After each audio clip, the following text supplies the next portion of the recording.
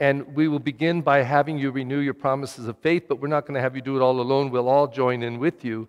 We will renounce sin and profess our faith in God. So if we could all stand. And let us surround Rachel with our faith too, and join together in faith. Do you all reject sin so as to live in the freedom of God's children? Do you reject the glamour of evil and refuse to be mastered by sin? Do you reject Satan, father of sin and prince of darkness? I do. Do you believe in God the Father Almighty, creator of heaven and earth? I do. Do you believe in Jesus Christ, his only Son, our Lord, who was born of the Virgin Mary, was crucified, died, and was buried, rose from the dead, and is now seated at the right hand of the Father? I do. do you believe in the Holy Spirit, the Holy Catholic Church, the communion of saints, the forgiveness of sins, the resurrection of the body, and life everlasting? Please repeat this is our faith. This is, our faith. This is the faith of the church. And we are proud to profess it. In Christ Jesus our Lord. Amen.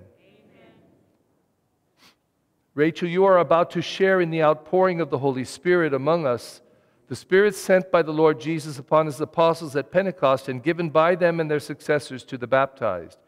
The promised strength of the Holy Spirit, which you are to receive, will make you more like Christ and help you to be a witness to his suffering, death, and resurrection.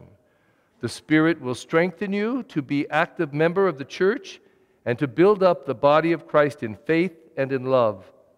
So we're going to pray for you to our all powerful Father that He will pour out the Holy Spirit on you, our sister, to strengthen you with His abundant gifts and anoint you to be more like Christ, His Son. We could all extend our hands as I lay hands on her in silence.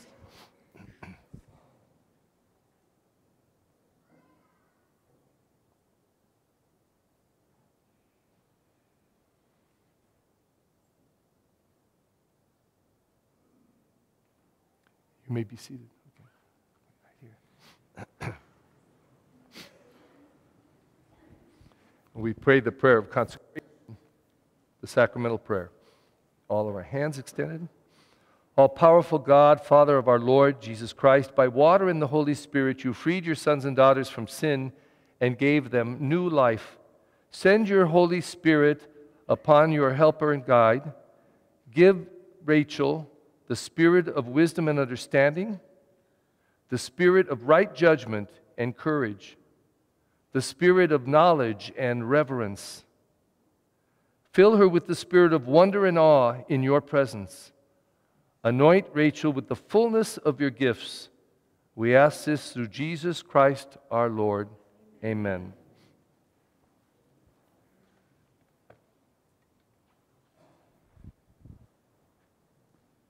and Rachel be sealed with the gift of the Holy Spirit.